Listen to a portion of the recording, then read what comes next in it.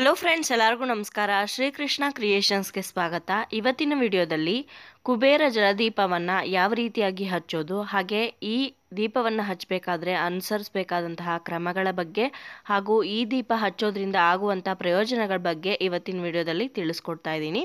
ಹಾಗಾದರೆ ಬನ್ನಿ, ವಿಡಿಯೋ ಶುರು ಮಾಡೋಣ. ಕುಬೇರ ದೇವರು ಅಂದ್ರೇ ಹಣಕಾಸಿಗೆ ಹಾಗೆ ದುಡ್ಡಿಗೆ ಅಧಿಪತಿ ಅಂತಲೇ ಹೇಳ್ಬೋದು. ಹಾಗಾಗಿ ಈ ದೀಪವನ್ನು ನೀವು ಮನೆಯಲ್ಲಿ ಹಚ್ಚೋದ್ರಿಂದ ನಿಮ್ಮ ಹಣಕಾಸಿನ ಸಮಸ್ಯೆ ಯಾವುದೇ ಇದ್ರೂ ಸಹ ಶೀಘ್ರವೇ ಪರಿಹಾರ ಆಗತ್ತೆ ಅಂತಲೇ ಹೇಳ್ಬೋದು. ಯಾರ ಹತ್ರನೋ ಸಾಲ ತಗೊಂಡಿರ್ತೀರಾ ಅಥವಾ ಯಾರಿಗೋ ಸಾಲನ ನೀವು ಕೊಟ್ಟಿರ್ತೀರಾ, ಆ ಕಾಸು ನಿಮಗೆ ವಾಪಸ್ ಬರದೇ ಇದ್ದರೆ ಈ ದೀಪವನ್ನು ನೀವು ಕಂಟಿನ್ಯೂಸ್ ಆಗಿ ಹಚ್ತಾ ಬಂದರೆ ನಿಮ್ಮ ಸಮಸ್ಯೆ ಎಲ್ಲ ಕಡಿಮೆ ಆಗುತ್ತೆ. ಹಾಗೆ ನೀವೇನು ದುಡ್ದಿರ್ತೀರಾ ಆ ಹಣ ಪೋಲಾಗದೆ ನಿಮ್ಮ ಹತ್ರನೇ ಉಳಿಯುತ್ತೆ. ಅಂದರೆ ಸುಮ್ ಸುಮ್ಮನೆ ಖರ್ಚಾಗೋ ಅಂಥ ಪ್ರಮೇಯ ಬರೋದಿಲ್ಲ.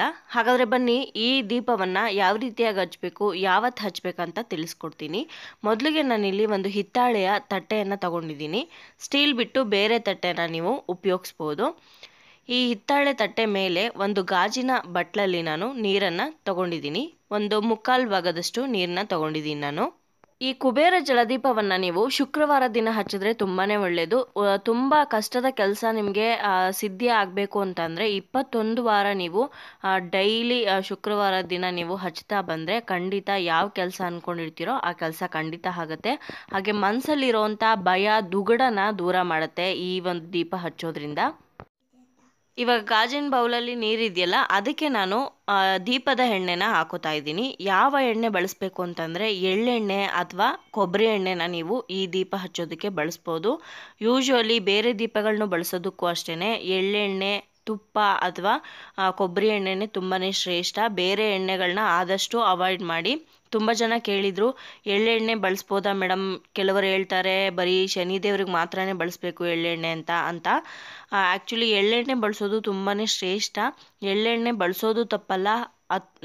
ಆ ಎಳ್ಳೆಣ್ಣೆನ ಕೆಳಗಡೆ ಚೆಲ್ಲಿ ಅದನ್ನು ತುಳಿಯೋದು ಆ ರೀತಿ ಎಲ್ಲ ಮಾಡಿದ್ರೆ ಶನಿ ಪ್ರಭಾವ ನಿಮಗೆ ಬೀರುತ್ತೆ. ಶನಿ ಕಾಟದಿಂದ ನೀವು ಬಳಲಬೇಕಾಗತ್ತೆ. ಹಾಗಾಗಿ ಹುಷಾರಾಗಿ ನೀವು ಎಳ್ಳೆಣ್ಣೆನ ಬಳಸಬೇಕು. ತುಂಬಾ ಶ್ರೇಷ್ಠ ಎಳ್ಳೆಣ್ಣೆ ಬಳಸಿ ದೀಪ ಹಚ್ಚೋದು. ಇವಾಗ, ಆ ಬೌಲಲ್ಲಿ ನಾನು ಒಂದು ವಿಳೆದೆಲೆನ ಇಟ್ಕೊಳ್ತಾ ಇದ್ದೀನಿ. ಯಾಕಂದರೆ ಈ ದೀಪನ ನಾವು ಬತ್ತಿ ಹಾಕಿ ಹಚ್ಚೋದ್ರಿಂದ ನೀರಲ್ಲಿ ಬತ್ತಿ ಬಿದ್ದರೆ ಅದು ನೆಂದೋಗ್ಬಿಡುತ್ತೆ. ದೀಪ ಸರಿಯಾಗಿ ಉರಿಯೋದಿಲ್ಲ. ಹಾಗಾಗಿ ಈ ರೀತಿ ವಿಳೆದೆಲೆನ ಇಟ್ಟು ಸ್ವಲ್ಪ ಪ್ರೆಸ್ ಮಾಡಿದ್ರೆ ಎಣ್ಣೆ ಎಲ್ಲ ಆ ವಿಳೆದೆಲೆ ಮೇಲೆ ತೇಲಿ ಬರುತ್ತೆ. ದೀಪ ಹುರಿಯೋದಕ್ಕೆ ತುಂಬ ಈಸಿ ಆಗುತ್ತೆ. ಇವಾಗ ನೋಡಿ, ಎರಡು ಬತ್ತಿಗಳನ್ನ ನಾನು ಆಲ್ರೆಡಿ ಎಣ್ಣೆಯಲ್ಲಿ ನೆನೆಸಿಟ್ಟಿದ್ದೀನಿ. ಅಂತಹ ಬತ್ತಿಗಳನ್ನ ಇವಾಗ ದೀಪಕ್ಕೆ ಹಾಕೋತಾ ಇದ್ದೀನಿ. ನೋಡ್ತಾ ಇದ್ದೀರಲ್ವಾ? ಹಾಗೆ ಬತ್ತಿ ಉರಿಯೋದಕ್ಕೂ ಸಹ ಈ ವಿಳೆದೆಲೆ ಹೆಲ್ಪ್ ಮಾಡುತ್ತೆ. ನೀವು ನೋಡ್ತಾ ಇರ್ಬೋದು, ಎಣ್ಣೆ ಎಲ್ಲ ಯಾವ ರೀತಿ ವಿಳೆದೆಲೆ ಮೇಲೆ ತೇಲಿ ಬಂದಿದೆ ಅಂತ. ಇವಾಗ ಈ ಕುಬೇರ ಜಲದೀಪಕ್ಕೆ ಹೂವಿನಿಂದ ಅಲಂಕಾರ ಮಾಡ್ತಾ ಇದ್ದೀನಿ. ಏನಾದರೂ ಒಂದು ಶುಭ ಕಾರ್ಯಕ್ಕೆ ನೀವು ಹೋಗ್ತಾ ಇದ್ರೆ, ಆ ಕೆಲಸ ಆಗಬೇಕು ಅನ್ನೋದಾದರೆ ಮನೆಯಲ್ಲಿ ಈ ರೀತಿ ಕುಬೇರ ಜಲದೀಪ ಹಚ್ಚಿ ನೀವು ಹೊರಡೋದ್ರಿಂದ ನೀವು ಯಾವ ಕೆಲಸಕ್ಕೆ ಹೋಗಿರ್ತೀರೋ ಆ ಕೆಲಸ ಸರಾಗವಾಗಿ ಆಗತ್ತೆ ಅಂತಲೇ ಹೇಳ್ಬೋದು.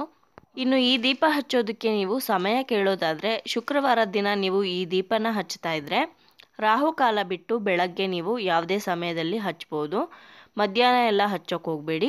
ಸಂಜೆ ಬೇಕಿದ್ರೆ ನೀವು ನಾಲ್ಕೂವರೆ ಮೇಲೂ ಸಹ ಈ ದೀಪವನ್ನು ಹಚ್ಬೋದು. ಹಾಗೆ ಈ ದೀಪದ ಬತ್ತಿ ಮುಖ ಏನಿದೆ ಅದು ಉತ್ತರಕ್ಕೆ ನೋಡುವ ರೀತಿಯಲ್ಲಿ ನೀವು ಹಚ್ಚಬೇಕಾಗತ್ತೆ ಇವಾಗ ನಾನು ಈ ದೀಪದ ಒಳಗಡೆ ಅರ್ಶಿನ, ಕುಂಕುಮ ಹಾಗೆ ಅಕ್ಷತೆನ ಹಾಕಿ ಪೂಜೆ ಮಾಡ್ಕೋತಾ ಇದ್ದೀನಿ. ಈ ದೀಪವನ್ನು ಹಚ್ಚುವಾಗ ನೀವು ಹೇಳಬೇಕಾದಂತಹ ಸರಳ ಮಂತ್ರ ಯಾವುದು ಅಂದರೆ, ಓಂ ನಮೋ ಕುಬೇರಾಯ ನಮಃ ಅಂತ ಹೇಳ್ಕೊಂಡು ಈ ದೀಪವನ್ನು ಹಚ್ಚಿ ನೂರ ಎಂಟು ಸಲ ಈ ಮಂತ್ರವನ್ನು ಹೇಳಿದ್ರೆ ತುಂಬಾ ವಿಶೇಷ.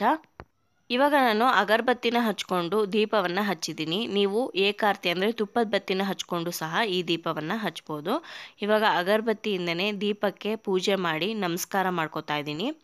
ಈ ದೀಪದ ಜ್ಯೋತಿ ಉತ್ತರಕ್ಕೆ ಮುಖ ಮಾಡಿರೋ ರೀತಿ ನೀವು ದೀಪವನ್ನು ಹಚ್ಚಬೇಕು ಹಾಗೆ ಈ ದೀಪವನ್ನು ನೀವು ಲಕ್ಷ್ಮೀ ದೇವಿಯ ಫೋಟೋ ಮುಂದೆಯೂ ಸಹ ಹಚ್ಬೋದು. ಇನ್ನು ಈ ದೀಪ ಎಲ್ಲ ಉರಿದಾದ್ಮೇಲೆ ಮಿಕ್ಕಿರೋಂಥ ನೀರು ಹಾಗೆ ವಿಳೆದೆಲೆನ ನೀವು ಯಾವುದಾದ್ರೂ ಒಂದು ಗಿಡದ ಬುಡಕ್ಕೆ ಹಾಕಿಬಿಡಿ. ವಿಪರೀತವಾದಂತಹ ಹಣಕಾಸಿನ ಸಮಸ್ಯೆಯಿಂದ ನೀವು ಬಳಲ್ತಾ ಇದ್ರೆ, ಸಾಲ ಬಾಧೆಯಿಂದ ಬಳಲ್ತಾ ಇದ್ರೆ, ಯಾರಿಗೋ ಕೊಟ್ಟಿರೋ ದುಡ್ಡು ವಾಪಸ್ ಬರದೇ ಇದ್ದರೆ ಖಂಡಿತ ಇಪ್ಪತ್ತೊಂದು ವಾರ ನೀವು ಇದೇ ರೀತಿ ಶುಕ್ರವಾರ ದಿನ ದೀಪ ಹಚ್ಚುತ್ತಾ ಬನ್ನಿ. ಖಂಡಿತ ನೀವೇ ಕೊಟ್ಟಿರೋ ದುಡ್ಡು ಖಂಡಿತ ವಾಪಸ್ ಬರುತ್ತೆ. ಹಾಗೆ ನಿಮ್ಗೆ ಯಾವುದೇ ಒಂದು ಹಣಕಾಸಿನ ಸಮಸ್ಯೆ ಇದ್ದರೂ ಕೂಡ ಅದು ಕಡಿಮೆ ಆಗುತ್ತೆ ಅಂತಲೇ ಹೇಳ್ಬೋದು. ಆದರೆ ನೆನಪಿರಲಿ, ದೀಪದ ಜ್ಯೋತಿ ಉತ್ತರಕ್ಕೆ ಮುಖ ಮಾಡಿ ಉರಿತಾ ಇರಬೇಕು. ಯಾಕಂದರೆ ಉತ್ತರ ದಿಕ್ಕಿಗೆ ಕುಬೇರ ದೇವರು ಅಧಿಪತಿ ಆಗಿರ್ತಾರೆ. ಹಾಗಾಗಿ ನೋಡಿದ್ರಲ್ವಾ ಫ್ರೆಂಡ್ಸ್ ಇವತ್ತಿನ ವಿಡಿಯೋದಲ್ಲಿ ಕುಬೇರ ಜಲದೀಪನ ಯಾವ ರೀತಿಯಾಗಿ ಹಚ್ಚಬೇಕು ಹಾಗೆ ಈ ದೀಪವನ್ನು ಹಚ್ಚೋದ್ರಿಂದ ಏನೇನು ಪ್ರಯೋಜನಗಳಿವೆ ಅಂತ ತಿಳಿಸ್ಕೊಟ್ಟಿದ್ದೀನಿ. ನಿಮ್ಮೆಲ್ಲರಿಗೂ ಈ ವಿಡಿಯೋ ಇಷ್ಟ ಆಗಿದೆ ಅಂತ ಭಾವಿಸ್ತೀನಿ. ಇಷ್ಟ ಆಗಿದ್ರೆ ಖಂಡಿತ ಲೈಕ್ ಮಾಡಿ, ಬೇರೆಯವ್ರಿಗೂ ಕೂಡ ಶೇರ್ ಮಾಡಿ. ನಿಮ್ಮ ಅನಿಸಿಕೆ ಅಭಿಪ್ರಾಯಗಳನ್ನ ಕಮೆಂಟ್ ಮೂಲಕ ಬರೀ ತಿಳಿಸಿ. ನನ್ನ ಚಾನಲ್ನ ಸಬ್ಸ್ಕ್ರೈಬ್ ಆಗದೆ ನೋಡ್ತಾ ಇದ್ದರೆ ದಯವಿಟ್ಟು ಸಬ್ಸ್ಕ್ರೈಬ್ ಮಾಡಿಕೊಂಡು ಪಕ್ಕದಲ್ಲಿ ಕಾಣುವಂಥ ಬೆಲ್ ಐಕನ್ನ ಮರಿದೇ ಕ್ಲಿಕ್ ಮಾಡಿ. ಸಿಗೋಣ ಮತ್ತೊಂದು ಇಂಟ್ರೆಸ್ಟಿಂಗ್ ವಿಡಿಯೋದೊಂದಿಗೆ. Take care. Bye bye. Thank you for watching.